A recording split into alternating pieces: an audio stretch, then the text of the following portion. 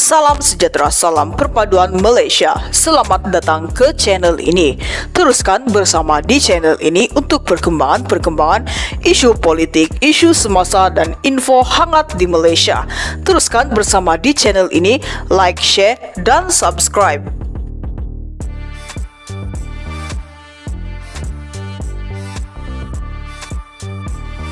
Salam sejahtera rakyat Malaysia. Terima kasih kerana berada di channel ini. Terima kasih juga kepada yang terus setia menonton video-video di dalam channel ini. Info hangat pada hari ini, admin mahu kongsikan daripada agenda daily. Mahkamah tolak permohonan peguam cabar pengampunan diraja terhadap Anwar.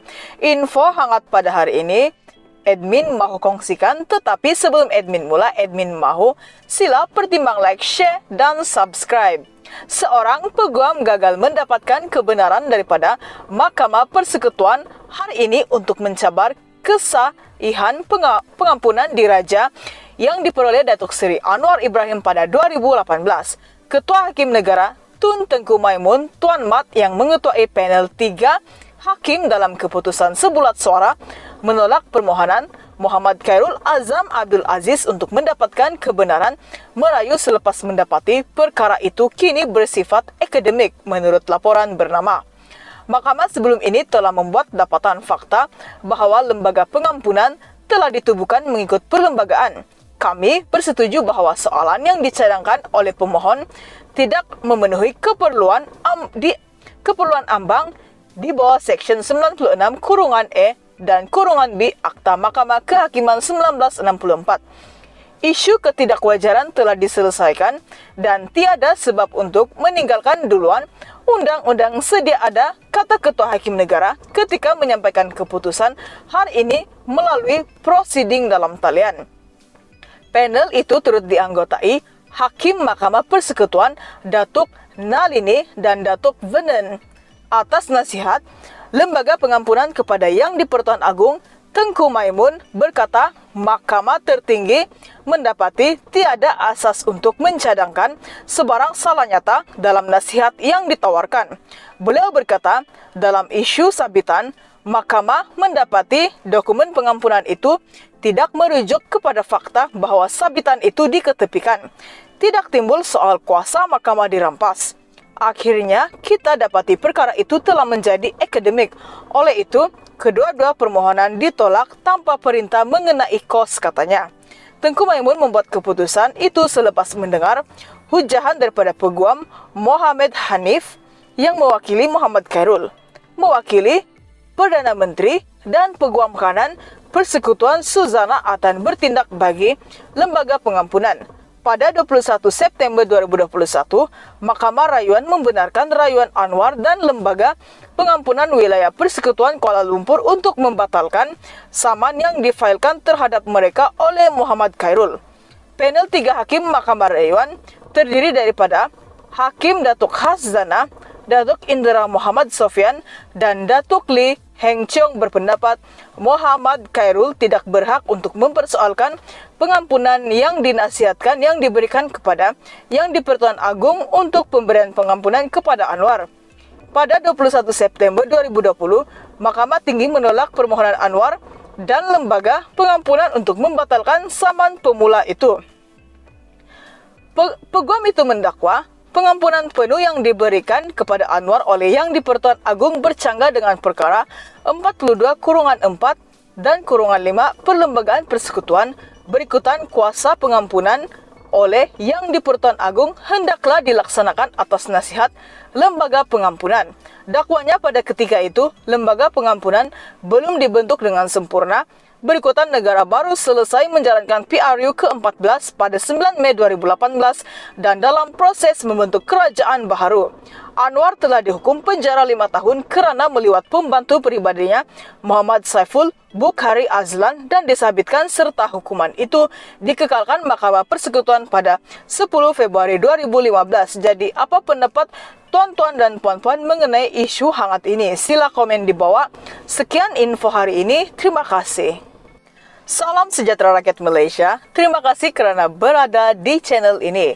Terima kasih juga kepada yang terus setia menonton video-video di dalam channel ini. Info hangat pada hari ini, admin mahu kongsikan daripada agenda daily. Mahkamah tolak permohonan peguam cabar pengampunan diraja terhadap Anwar.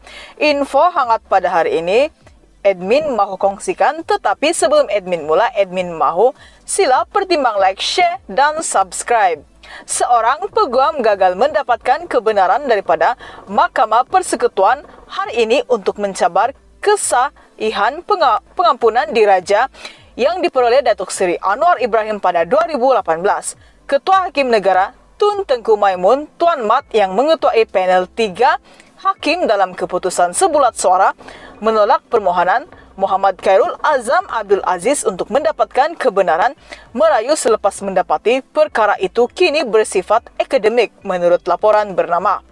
Mahkamah sebelum ini telah membuat dapatan fakta bahawa lembaga pengampunan telah ditubuhkan mengikut perlembagaan.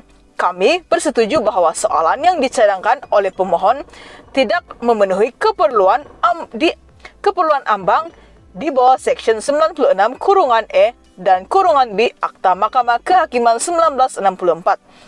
Isu ketidakwajaran telah diselesaikan dan tiada sebab untuk meninggalkan duluan undang-undang sedia ada kata Ketua Hakim Negara ketika menyampaikan keputusan hari ini melalui prosiding dalam talian. Panel itu turut dianggotai Hakim Mahkamah Persekutuan Datuk Nalini dan Datuk Venen atas nasihat Lembaga Pengampunan kepada Yang di-Pertuan Agung Tengku Maimun berkata Mahkamah Tertinggi mendapati tiada asas untuk mencadangkan sebarang salah nyata dalam nasihat yang ditawarkan. Beliau berkata, dalam isu sabitan, Mahkamah mendapati dokumen pengampunan itu tidak merujuk kepada fakta bahawa sabitan itu diketepikan. Tidak timbul soal kuasa Mahkamah dirampas. Akhirnya, kita dapati perkara itu telah menjadi akademik. Oleh itu, kedua-dua permohonan ditolak tanpa perintah mengenai kos katanya. Tengku Maimun membuat keputusan itu selepas mendengar hujahan daripada peguam Muhammad Hanif yang mewakili Muhammad Khairul, mewakili Perdana Menteri dan peguam kanan Persekutuan Suzana Atan bertindak bagi Lembaga Pengampunan pada 21 September 2021, Mahkamah Rayuan membenarkan rayuan Anwar dan Lembaga Pengampunan Wilayah Persekutuan Kuala Lumpur untuk membatalkan saman yang difailkan terhadap mereka oleh Muhammad Khairul. Panel tiga hakim Mahkamah Rayuan terdiri daripada Hakim Datuk Hasdana, Datuk Indra Muhammad Sofian, dan Datuk Lee Heng Chong berpendapat Muhammad Khairul tidak berhak untuk mempersoalkan pengampunan yang dinasihatkan yang diberikan kepada yang di Pertuan Agung untuk pemberian pengampunan kepada Anwar. Pada 21 September 2020, Mahkamah Tinggi menolak permohonan Anwar dan lembaga pengampunan untuk membatalkan saman pemula itu. Pe peguam itu mendakwa pengampunan penuh yang diberikan kepada Anwar oleh Yang di-Pertuan Agung bercanggah dengan perkara 42 kurungan 4 dan kurungan 5 Perlembagaan Persekutuan berikutan kuasa pengampunan oleh Yang di-Pertuan Agung hendaklah dilaksanakan atas nasihat Lembaga Pengampunan. Dakwanya pada ketika itu, Lembaga Pengampunan belum dibentuk dengan sempurna Berikutan negara baru selesai menjalankan PRU ke-14 pada 9 Mei 2018 dan dalam proses membentuk kerajaan baru. Anwar telah dihukum penjara lima tahun kerana meliwat pembantu pribadinya Muhammad Saiful Bukhari Azlan dan disabitkan serta hukuman itu dikekalkan Mahkamah Persekutuan pada 10 Februari 2015. Jadi apa pendapat tuan-tuan dan puan-puan mengenai isu hangat ini? Sila komen di bawah. Sekian info hari ini. Terima kasih.